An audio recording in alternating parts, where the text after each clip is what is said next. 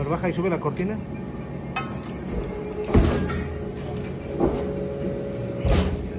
Ay, mero. A ver otra vez.